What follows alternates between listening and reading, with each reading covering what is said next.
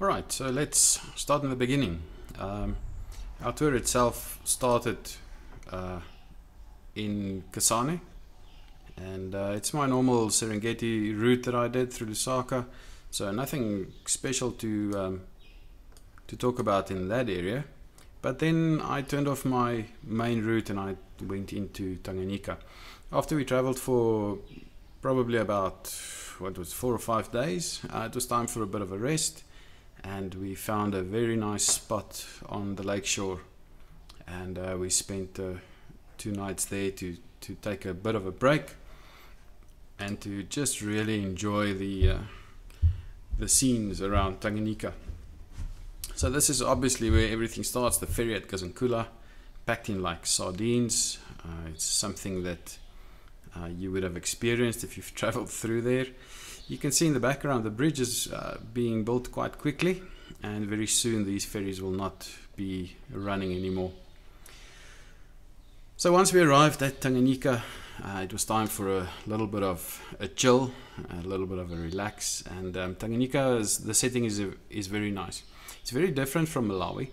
Uh, if you've ever been to Malawi, Malawi is a lot more uh, developed. Would be the right word. Um, a lot of people next to the lake, right on the shore um, in Malawi, on the lake road itself. There's lots of people. Tanganyika is very dense forest as you go down into Tanganyika, and then it opens up into these little spots that you can uh, that you can visit. So we found a lovely lodge, uh, excellently run, and uh, a bit of time to do maybe a little bit of uh, R and R, uh, take some pictures nice sunset we had, so the cameras were all ready. And of course, if you have water, there must be a boat, and if there's a boat, there must be a sunset cruise. So the guys decided that was it sunset cruise for the afternoon, and uh, off they went for a, for a sunset cruise. Together with this, they did a bit of snorkeling. Uh, you can also do scuba diving at uh, at Tanganyika. Um, they are, will probably have it set up in, in a few months or a, a year or so. Um, but snorkeling also great. Uh, quite a few fish species in uh, Lake Tanganyika. The sunset that afternoon, splendid. Uh, on the opposite shore, you can see the DRC, and the DRC probably about 40 kilometers from there. Um, in the foreground, you can see the table that was set for us for the dinner for that evening. Excellent three course meal, uh, really worth it. Felt like kings sitting on the lake shore. The wind calmed down and it was absolutely tranquil for that afternoon.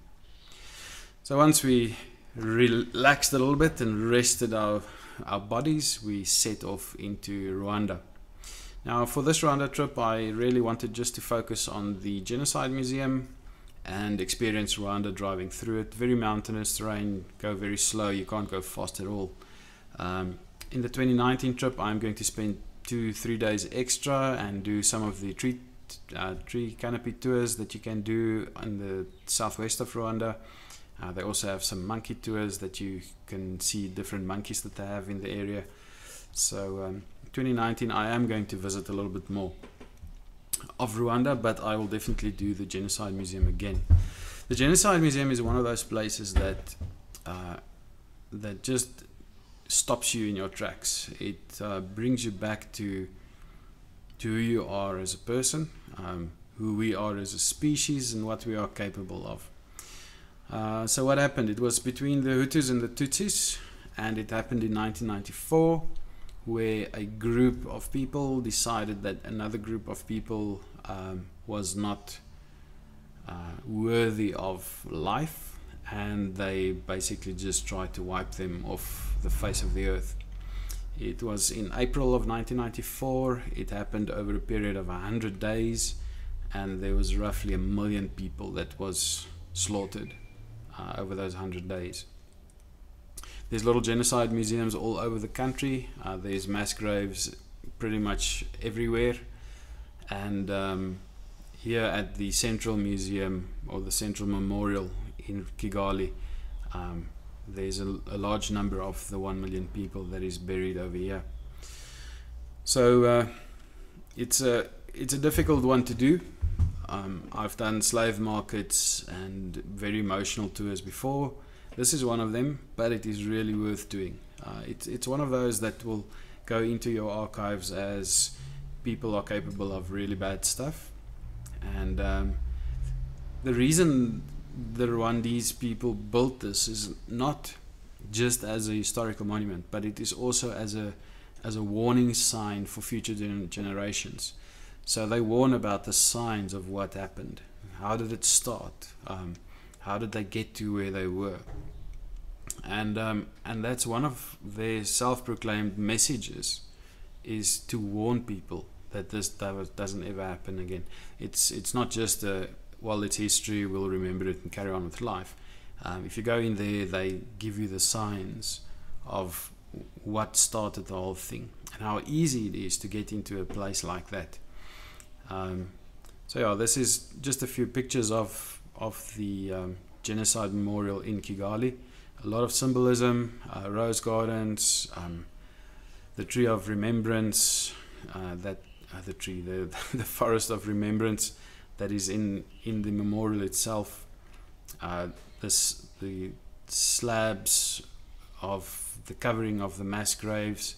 Uh, many of the people that they still dig up today um, are brought here and buried in the memorial um, grounds itself.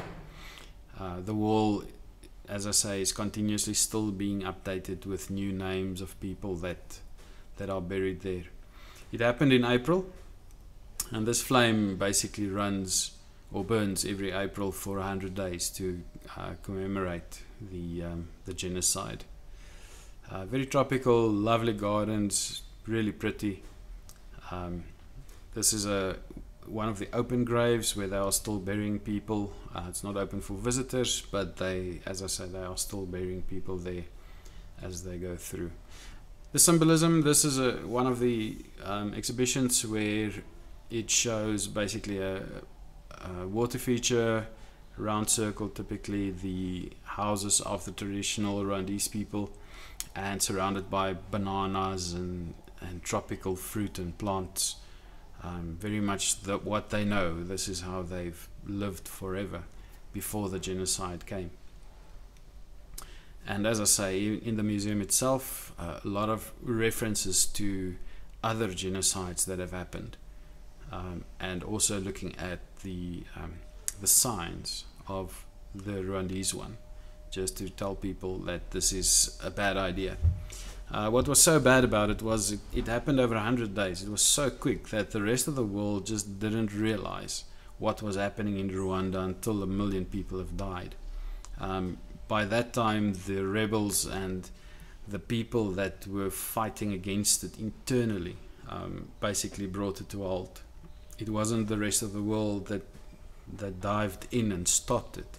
Uh, the rest of the world was just too slow. It happened internally and it was stopped internally um, by the rebels that um, that basically just started fighting against it. But in 100 days, a million people, uh, it happens very quickly. So it's worth visiting. Uh, if you ever get there, uh, go through to the memorial, um, do the visit. It's a tough one but it's worth the uh, twenty dollars or whatever you pay um, to go in there and, and visit it. It will definitely be on the agenda for 2019. It is a must do. If you don't want to do it and you're on the trip, sure you can just skip it. Uh, there's a nice restaurant. You can have some coffees and cakes. Um, so you can sit outside and, and you don't have to do it. But uh, it is highly recommended. It's um, it's one of those things that we have to remind ourselves of what we are capable of doing uh, when we do it.